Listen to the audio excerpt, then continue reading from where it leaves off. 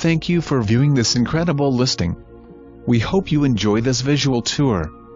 Here is to your new home. This Brier Creek townhome has a ton of elegance at its best.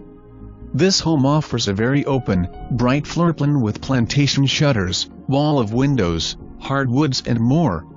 Kitchen with Energy Star stainless steel appliances, center island, granite countertops and breakfast area. First floor master bedroom suite with private spa bath, two-story family room with gas log fireplace, formal dining and living rooms. The second floor offers a loft, bonus room, additional storage and two nice-size bedrooms.